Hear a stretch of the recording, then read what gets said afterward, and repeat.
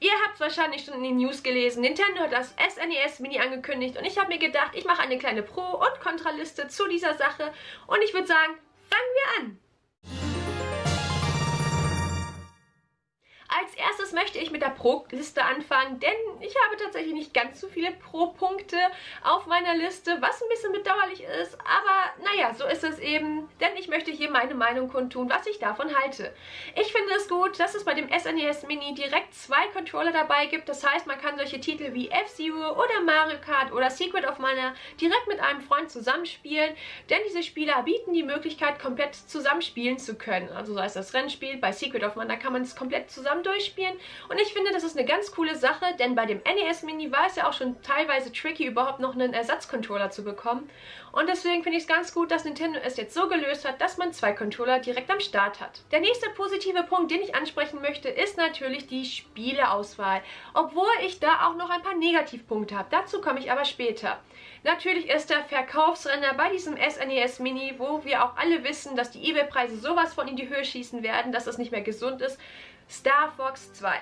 Es wurde nie veröffentlicht und kommt jetzt einfach mit auf das SNES e Mini und wir alle wissen, ähm, das Ding ist jetzt schon restlos ausverkauft und ähm, mit diesem Spiel allein da drauf ist das Ding Gold wert, wenn man es verkaufen möchte. Ich finde es ganz cool, dass sie jetzt in Europa auch das Super Mario RPG unter anderem damit draufpacken oder Earthbound, denn diese Titel gab es vorher nicht bei uns, zumindest jetzt nicht auf dem Super Nintendo und das ist eine ganz coole Sache, dass Nintendo sich die Dinger damit reingeschmissen hat. Natürlich ist es klasse, dass wir die alten Klassiker mit dabei haben, wie Super Mario Kart, wie Super Mario World, Yoshi's Island, Donkey Kong Country, F-Zero, und weiß der Geier was. Es sind ja insgesamt 21 Titel und ich muss sagen, ich finde, es ist schon eine ganz ausgewogene Mischung an Spielen, so dass, sage ich mal, die Kinder der 90er, die damit groß geworden sind oder die damit angefangen haben, Videospiele zu spielen, natürlich total angetan sind von diesem Gerät, weil da natürlich die Titel drauf sind, die man in der Kindheit gespielt hat. Und ich bin gespannt, wer von euch mit dem SNES e damals groß geworden ist. Schreibt es mir doch unten gerne in die Kommentare und auch, welches euer erstes Spiel dabei war. Das macht mich nämlich super neugierig, denn ich bin selbst mit dem SNES groß geworden und ähm, muss sagen,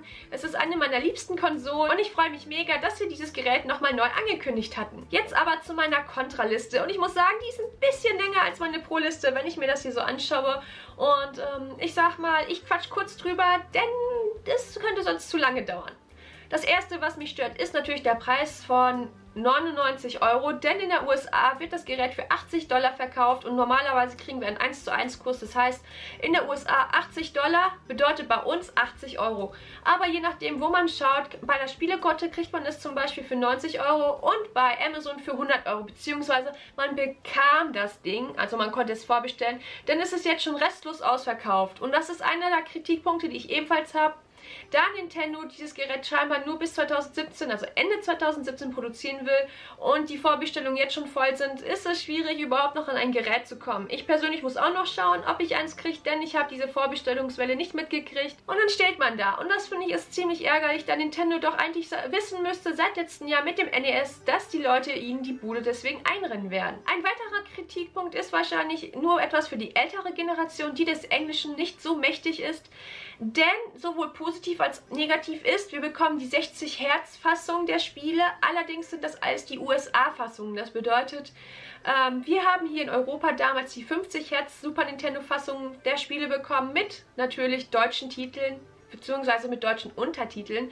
Und das wird es jetzt bei dem SNES e Mini scheinbar nicht mehr geben. Das heißt, die Spiele, die ihr auf Deutsch spielen wollt, könnt ihr so nicht auf Deutsch spielen, da es die USA-Fassung ist. Darauf sollte man wirklich achten, wenn man in den alten Nostalgie-Flash gehen möchte, denn die Titel werden alle auf Englisch sein. Ein minimaler Kritikpunkt ist, dass mal wieder kein Netzstecker dabei ist. Das bedeutet, äh, wenn man kein Smartphone, kein Tablet oder sowas hat, ist man aufgeschmissen. Klar, es gibt äh, kaum noch Leute, die solche Dinger nicht besitzen. Ich kenne aber jemanden, der hat kein Smartphone, kein Tablet, nichts nichts und muss dann erstmal zusehen, wo man so Netzstecker überhaupt herkriegen könnte. Ich meine, das Ding kostet doch höchstens 1, 2 Euro. Das könnte man bei dem Preis doch auch locker mit in das Paket packen. Oder wie seht ihr das? Mein größter Kritikpunkt an dem SNES e Mini ist unter anderem noch, wo sind die ganzen RPGs? Mir fehlen Spiele auf dieser Liste. Zum Beispiel Illusion of Time, Secret of Evermore, Lufia, Terranigma, Breath of Fire, Donkey Kong Country 2, Donkey Kong Country 3. So habe ich schon spontan aus dem Kopf sieben Titel. Wo ich mir denke, warum sind die nicht mit da drauf? Liegt es daran, dass Nintendo nicht die Rechte dafür bekommen hat? Oder war es jetzt zu viel Arbeit, die noch mit drauf zu packen?